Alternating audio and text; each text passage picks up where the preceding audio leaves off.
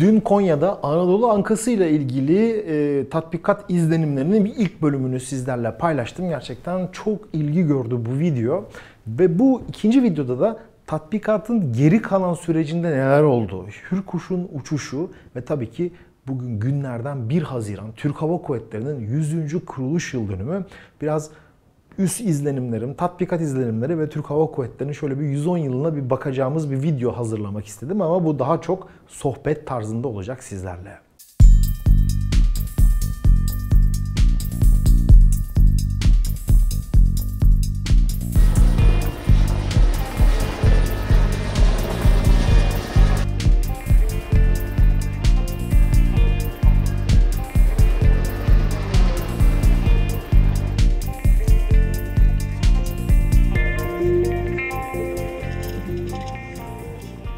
Tatbikatlar çok önemli ve Türkiye son yıllarda da e, uluslararası katılımlı tatbikat sayısını arttırarak burada çok önemli bir yere ulaşmış durumda. Ama tatbikatlarda tabii ki uluslararası ilişkileriniz çok önemli. İşte geçmişte benim de e, gazeteci olarak izlediğim Anadolu Kartalı tatbikatlarına Birleşik Arap Emirlikleri, Fransa, yoğun olarak Amerika, hatta çok eskiden İsrail bile katılırdı. Ama işte dış konjektür, dış politikamızdaki değişiklikler, dünyadaki gelişmeler derken artık ülkeler hangi ülkelerle yakınsa o ülkeler gelmeye başladı. Tabii geçmişin önemli tatbikatlarına Çin Hava Kuvvetleri'nin katıldığı tatbikatta eklemekte gerçekten çok enteresan. Bunu e, fayda var. Bu yılki tatbikatta yabancı olarak katılım Azerbaycan ve Katar'ın katılımı vardı. Amerika Birleşik Devletleri'nin katılımı bekleniyordu ama e, son dakika böyle bir iptal söz konusu. Slovakya'nın katılımı vardı ama onlar e, çok ilginç bir gerekçeyle katılmadılar. Ön toplantılarına katıldılar. Tatbikatta da dediler ki Kuzey Kıbrıs Türk Cumhuriyeti katılımcılarından biri bizim yavru vatan. Ee, onlar adına bir AS-532 Cougar helikopteri gelecek. Efendim biz tanımıyoruz o ülkeyi beraber tatbikat yapamayız diye o ülkenin Dışişleri Bakanı Yunan Dışişleri Bakanı ile yaptığı toplantıda bunları söylüyor. Bunlar tabii dış basından takip edebildiğimiz şeyler ama e, umarım düzgün bir açıklama Türkiye'ye yapılmıştır bunlarla ilgili. Bunları geçtikten sonra tabii tatbikata geldik. Konya'ya Günübirlik bir uçuştu. Sabah Pegasus'la e, Sabiha Gökçen'den uçtuk. Konya'ya geldik. Zaten pistin öbür tarafı sivil terminal. Hava Kuvvetleri Komutanlığı çok iyi bir organizasyon yapmıştı. Gerçekten iyiydi. İşte fotoğraflarımızın olduğu, kimlik kartlarımız hazır, bilgi notlarımız. Hemen briefing'e alındık, çeşitli bilgiler verildik. Ve bu tatbikatın önemli ayaklarından biri de bizim de merakla beklediğimiz, dün size videosunu yaptığım e, TUSAŞ'ın geliştirdiği Hürkuş. Hürkuş yeni bir konsepte doğru gidiyor. E, dünkü yayında size detaylarını anlattım ama ek gelen bilgilerle birkaç bir şey daha söylemek isterim. Hava araçlarının ömürleri çok uzun. Ve siz yeni görevleri, yeni rolleri uygulayabildiğiniz takdirde o hava aracı yaşamaya başlıyor. Geliştirebildiğiniz takdirde üzerine bir şeyler koyabiliyorsunuz. Bu açıdan TUSAŞ eğitim uçağı olarak başlayan Hürkuş'un macerasını yeni bir boyuta taşıyor. Bu önemli bir adım. 135. filoda görev yapacak ve Hürkuş'un da yeni görevinin aslında tatbikatta görme şansına ulaştık. Nedir yeni görev? Şimdi taarruz helikopteriyle bir yere kadar bazı şeyleri yapıyorsunuz. Eksik olan tarafları bu tür pervaneli hem yüksek süratle uçan hem düşük süratle uçabilen, dar alanda çok fazla hareket yapabilen uçaklar almaya başlıyor. Şimdi birileri yazıyor yorum diyor ki ya kardeşim 100 yıllık pervaneli uçak projesi. Tabi Amerika'da salak bizim gibi tabiri caizse çok affedersiniz.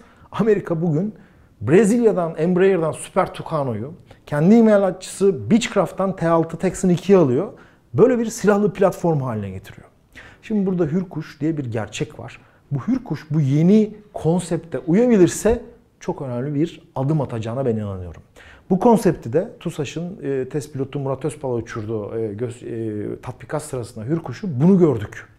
Bir baktık arama kurtarma için helikopterler bölgeye geldi. Ataklar bu korumayı sağladı. Havada baskılama görevini de Hürkuş üstlendi. Hürkuş'un kanatlarının altında 4 tane Mamle Roketsan'ın yaptığı çok iyi bir mühimmat. Flör kamera var, takipler, lazer işaretlemeler, yukarıdan gelecek baskıyı Hürkuş gerçekleştirdi. Normalde bir F-16'da, bir F-16'ın sürati çok yüksek, kısa dönüş yarıçapı daha sınırlı, birkaç sorti yapabileceği yere Hürkuş defalarca dalarak, çıkarak çok dar alanda bunu gerçekleştirdi. Ben bu açıdan önümüzdeki yıllarda Hürk uçuşları açısından 135. filoya verilmesini çok önemsiyorum ve yeni bir görev bekliyorum. TUSAŞ bu konuyla ilgili aslında tabiri caizse diyelim bir e, karargah da kurmuş içerisine.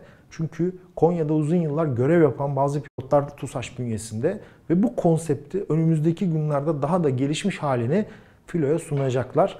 Ben bunun bir başarı yakalayacağını ve yurt dışında da kendi pazarını oluşturacağını düşünüyorum açıkçası.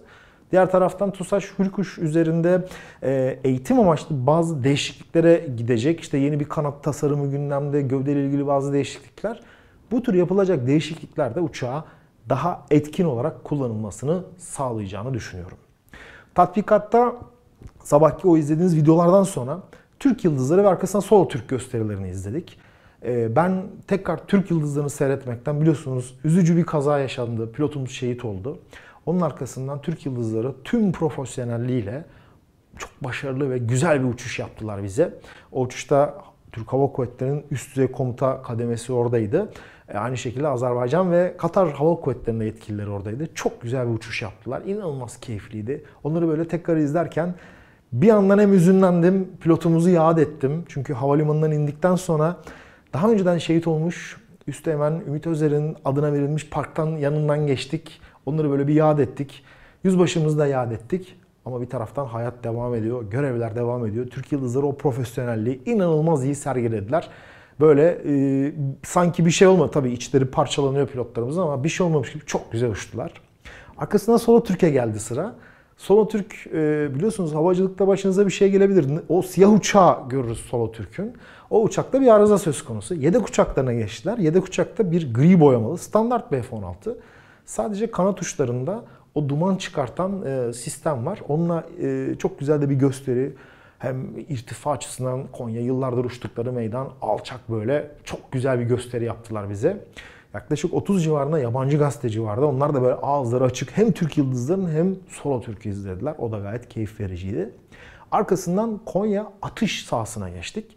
E, bu atış sahasında modern bir kule var. Tüm atışları çok iyi koordine ediyorlar. Öyle hani eskiden gibi böyle daldı uçak çekti falan yok. Çok yüksek irtifadan akıllı mühimmatlar atılıyor. E, bu arada hava acayip bozdu. Bir fırtına gelip geçti. 25 dakika uçuşlar bunu tekrar başladı. 2 F-16 132. filodan Konya'nın geldi yüksek irtifadan Mark 82 bıraktılar ve hedeflerini 12'den güm diye vurdular. çok heyecan vericiydi. Tabi bakıyoruz tabi helikopter geliyor ama sadece hava kuvvetlerinin helikopteri yok. Kara jandarma genel komutanlığının helikopterleri var.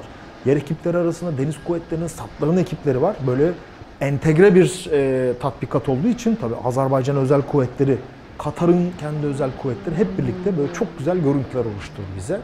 Ve burada da Hürkuş'un arkasından yaptığı geçişler de inanılmaz heyecan vericiydi. Burada da Hürkuş'un yeteneğini gözümüzde görmüş olduk. Bugün e, dediğim gibi 1 Haziran Türk Hava Kuvvetleri'nin kuruluşunun 110. yıl dönümü. 10 yıl evvel Çiğli'de 100. yıl kutlamalarına çok büyük bir havacılık gösterileri yapılmıştı. Tabii pandemi nedeniyle, salgın nedeniyle bu mümkün değil. E, sosyal medya üzerinden e, Milli Savunma Bakanlığı'nın çok güzel bir videosu yayınlandı. Hava Kuvvetleri Komutanlığı bu videoları dağıttı etrafa. Çok keyifliydi bu izlemek. E, tabii gönül ister de büyük bir yarış olsun ama ne yazık ki şu şartlarda bu mümkün değil. Ben de yaklaşık 2 yıl sonra tekrar bir hava üssüne girme imkanına kavuştum. Ama Hava Kuvvetleri tekrar o 15 Temmuz darbe girişiminden sonra gerçekten ciddi güç kaybedildi. İçerideki bu FETÖ'cü pilotlar, personel nedeniyle. Ee, burada önemli bir temizlik operasyonuyla Kuvvetleri tekrar böyle e, kendi böyle yükselmiş gücü kuvveti ekibi yerinde gümbür gümbür uçuşlar yapılıyor. Genç ekip geliyor aşağıdan e, ve tecrübeli ekibin tabii ki onu böyle hissediyorsunuz. İşte filo binalarına bir bakıyorsunuz. Yarbaylar, albaylar dolu ama içlerinde sanki genç bir teğmen gibi uçuş heyecanları var. Bu açıdan o sahneleri görmek beni böyle çok mutlu etti. Hava kuvvetlerimiz, ben de gözümle görmüş oldum ki hava kuvvetlerimiz tekrar eski gücünü o personel açısından yakalamış durumda. Türk Hava Kuvvetleri gerçekten bölgenin en iyilerinden biri, dünyanın sayılı hava kuvvetlerinden biri. Niye? Çünkü çok önemli bir tarihi geçmişi var. Bu tarihi geçmişini üzerinde taşıyor. Bu son yıllardaki yaşanan e, aksiliklerde önemli bir kısmı giderilmiş. Tekrar eski o gücüne kavuştuğunu ben gözlerimle gördüm ve bu beni çok mutlu etti. Darısı ne diyelim? daha iyi milli teknolojilerle daha iyi yerlere gidecek bir yol e, önlerinde var. İşte milli muharip uçak, Hürjet, Hürkuş, bir sürü yeni nesil mühimmatlar bunları görüyoruz işte Som'dan Teber'e, Mamle'ler, Mamce'ler, insansız hava araçları bunlar Türk Hava Kuvvetleri'ni tabii ki Türk Silahlı Kuvvetleri'ni çok önemli yerlere doğru taşıyacak. Ne kadar çok kendi sistemimizi geliştirebilirsek, bu sistemin yelpazesi ne kadar geniş olursa ve bunları idame edersek gerçekten taktiklere, yeni nesil yaklaşımlara bir adım daha, bir tuğla daha koyuyor üzerine. Bunları da gözlerimizde ben bile görüyorum öyle söyleyeyim size. Umarız gelecekte daha da iyi gelişmeler olur ve bunları da size aktarma şansına sahip oluruz. Bizleri izlediğiniz için çok teşekkürler. Ben bu bölümde aslında dünkü e, videonun bir tamamlayıcı etkisi olarak bir şeyler söylemek istedim. Bize lütfen sorularınızı mesaj olarak yazın veya yorum olarak yazın. Bizlere işbirlikleri için info.tolgozbek.com mail adresinden ulaşabilirsiniz. Detaylı savunma ve havacılık haberlerimiz tolgozbek.com sitesinde bizlere sosyal medya üzerinden de ulaşabilirsiniz. Bu aralar kurduğumuz Telegram grubu çok ilgi görüyor. Telegram adresini de eğer kullanıyorsanız eklemeyi unutmayın. Yarın yeni bir videoda görüşmek üzere. Herkese sağlıklı ve mutlu günler diliyorum.